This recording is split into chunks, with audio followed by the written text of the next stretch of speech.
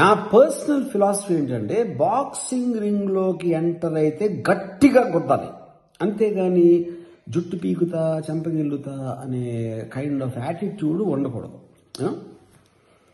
అంటే ఇప్పుడు నేను ఇది యాత్రాటు టూ గురించి మాట్లాడట్లేదు? Just making a general observation so నేను నా ఇది ఇది దాంట్లో వ్యూహం కానీ శపథం కానీ దాంట్లో ఐ జస్ట్ వాంటెడ్ టు నిజాన్ని బట్టలిప్పేసి నీకెడ్గా చూపించడం అనేది నా basic intention and objective okay so ఇప్పుడు నన్ను క్వశ్చన్ అడిగారు.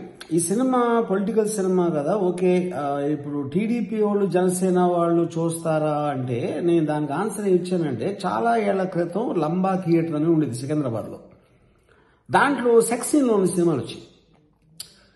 కానీ జనాలు వెళ్ళటానికి నేను అందరికీ సక్సెస్ ఇష్టమే కానీ నేను వెళ్తే నాకు తెలిసినోడు ఎవరన్నా చూస్తే నేను ఇలాంటి సినిమా చూడటానికి వచ్చానని వాడికి తెలిసిపోతుందేమో వీడికి తెలిసిపోతుందని భయంతో వెళ్ళి ఉండదు.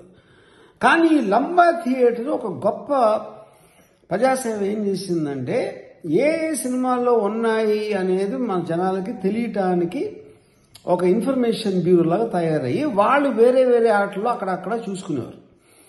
సో సిమిలర్గా నేను రోజు రేపు పొద్దున్న పాన్ చూసినట్టు టీడీపీ వాళ్ళు జనసేన వాళ్ళు వ్యూహ అనేది వ్యూహం అనే సినిమాని ఎవ్వరికి తెలియకుండా వాళ్ళ బాత్రూంలో చూసుకుంటారు అనేది నా ఉద్దేశం.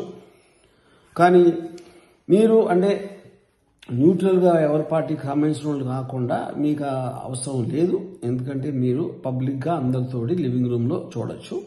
టీడీపీ జనసేన వాళ్ళు బాత్రూంలో చూసుకుంటారు. ఇది ఇన్ఫర్మేషన్. సో వ్యూహం అనేది ఫిబ్రవరి ట్వంటీ థర్డ్లో వస్తుంది అండ్ శపథం మార్చ్ ఫస్ట్లో వస్తుంది. మీకు ఇష్టం ఉంటే చూడండి లేకపోతే మానేయండి.